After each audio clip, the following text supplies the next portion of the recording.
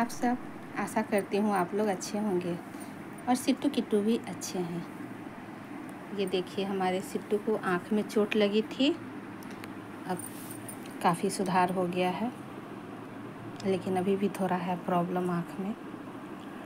और सिट्टू हमारा पपीता का बीज खा रहा है। और ये देखिए किट्टू, मिर्च खाने में लगी है।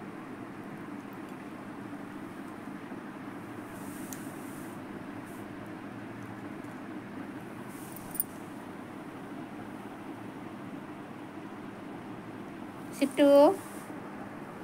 कैसा है मेरा बेटा का आँख? दिखाओ। अच्छा है।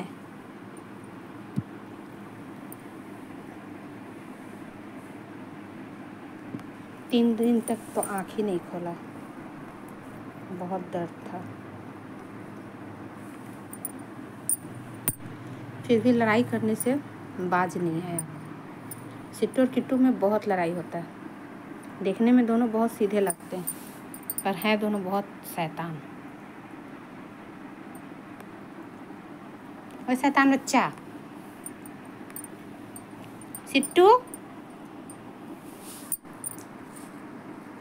Bye bye. भाग गया।